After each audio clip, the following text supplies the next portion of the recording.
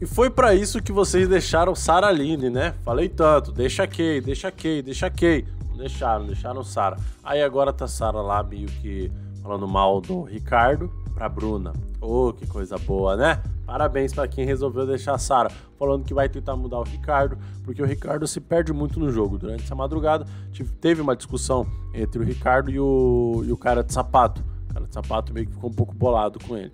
Vamos ver essa resenha, cara? Falar pra você, viu? Quem manda deixar essa menina no, no BBB? Olha lá. Programa em si. Mas eu sinto que ele tem um negócio com você, tipo, ele é muito nítido.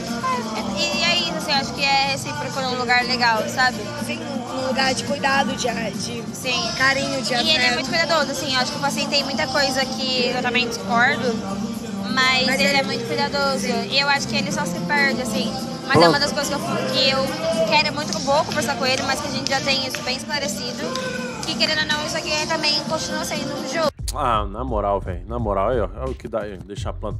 Se, se Sara até vai chegar na final, cara. Vai ser a mesma resenha que aconteceu com a Thelminha. Pode até ganhar, cara. Pode até ganhar. Eu, eu- eu fico surpreso, velho.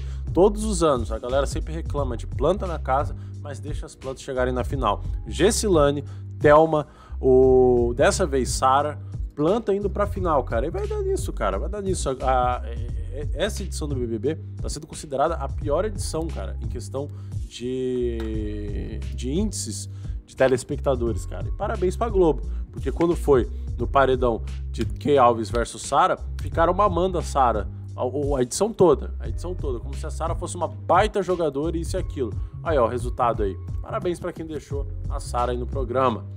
Enfim, resultado não era outro. Voltamos já já com mais vídeo. É nóis. Ah, não se esqueça também, abrir um novo canal aí pra gente fazer brincar aí na internet de algumas as- apostas na internet.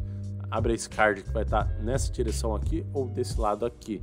Enfim, só clicar e assistir.